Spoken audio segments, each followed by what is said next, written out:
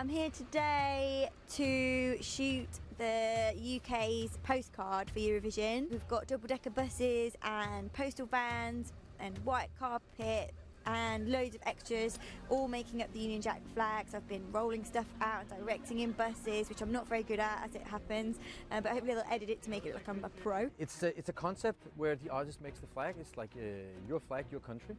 It's a nice moment. You know, it's, it, it's a kind of an art installation. Right now we're waiting for 300 extras in blue ponchos to show up and be the blue in the flag. And uh, we have Molly and we will bring her up in the cherry picker and she will guide the postcard from up there. Slightly nervous about the cherry picker, um, which I'm having to go up in soon. I'll just have to embrace and get up there take the picture. Yeah, it's quite a big job. It's important that she takes the photo in the right angle. Otherwise, you know, the, the flag would be tilted or whatever. So it has to be in the straight angle down.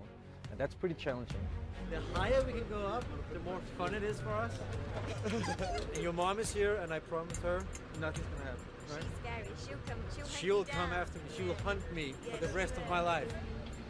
Bye, Molly.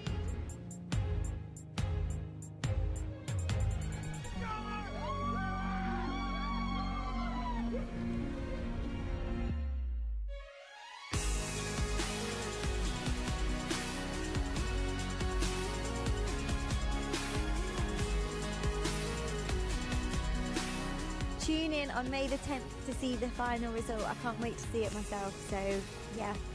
Thanks.